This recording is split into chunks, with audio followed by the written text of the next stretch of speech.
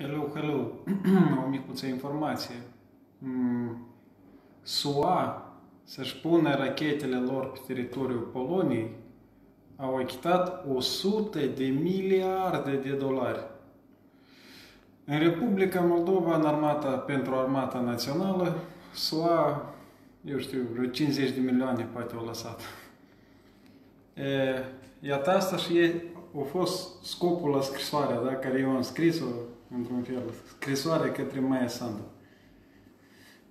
Dacă tu introduci armata americană pe teritoriul Moldovei, doamna Maia Sandu, trebuie să șeri mulți bani, mulți și odată.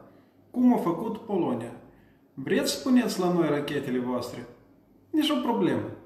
Dați, vă rog, 100 de miliarde de dolari. Eu în scrisoare am scris că e destul pentru Moldova 10 miliarde. Iată 10 miliarde și țara iese din criză, înflorește și devine frumușecă. adică, practic, toată renovată.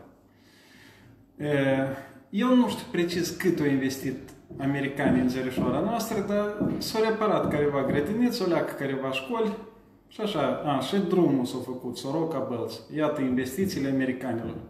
Eu cred că vreo 50 de milioane de dolari. E, 50 de milioane, 100 de milioane, 1000. Mai scurt, asta e 0 întreg și nu știu cât acolo după 0 procente din ceea ce a primit un stat care poate șere, care s-a pus ultimatum, vreți bine, nu la revedere. Și un stat ca Republica Moldova, care vopsiți-ne, vă rog, două garduri și faceți ce vreți cu armata.